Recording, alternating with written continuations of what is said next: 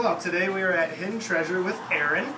Aaron, what is your position here at Hidden Treasure? I am the store manager at Hidden Treasure. the store manager. Awesome.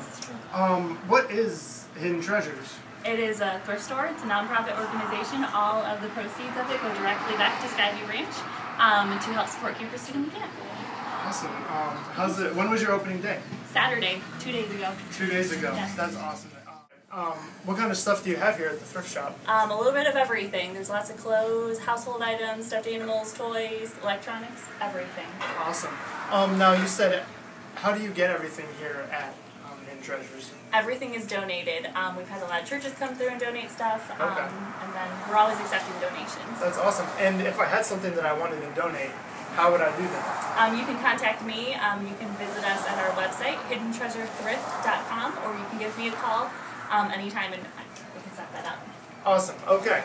So for you who are watching the Skyview vlog, this is Hidden Treasures. It's a nonprofit organization. It's run on donations, and all the proceeds from the sales here at Hidden Treasures go to sending campers uh, to Skyview Ranch this summer. Woo! All right. See you guys later.